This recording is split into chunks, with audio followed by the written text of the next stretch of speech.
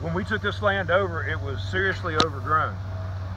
When I grew up here in the early 60s, there wasn't a tree on the place. It was as if the Confederates had just left it, as they did 100 years ago. It was red dirt, hard and crusted. We rode our bicycles all over it. And when I came back up here after we were given the land, I was amazed to see the amount of growth that had taken place.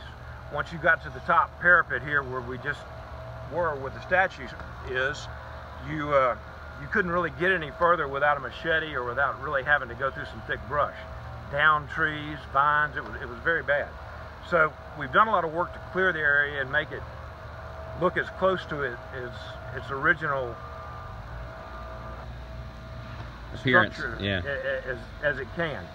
This bridge was a Boy Scout, Eagle Scout project done by one of our members' sons.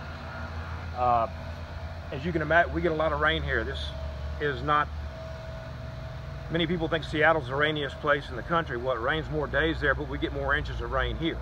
And when we get one of the two or three inch deluges we can get in an hour or two, this moat fills with water. So uh, it was very nice to have a little bridge and then uh, the stairs our camp members built themselves.